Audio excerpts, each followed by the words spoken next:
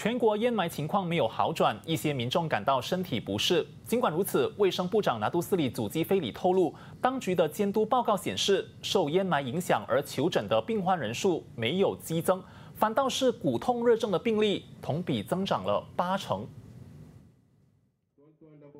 卫生部长祖基菲里今天在槟城北海出席活动后表示，当局从今年的烟霾季，也就是第三十三个星期开始，就密切监督特定诊所的求诊人数。尽管有民众因为烟霾感到不适上门看诊，但截至这个月五号的病患总人数并没有异常激增。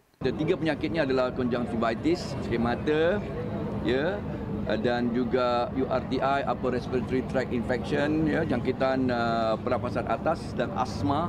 ya semenjak kejadian jerebu melanda ya. Sehingga kini sudah 4 minggu pemantauan uh, penyakit ini kita lakukan ya. Walaupun data kehadiran penyakit yang dipantau adalah tidak konsisten yang jelasnya tidak uh, pesakit uh, yang, yang tidak ada yang apa uh, kehadiran pesakit dalam jumlah yang luar biasa. There is no spike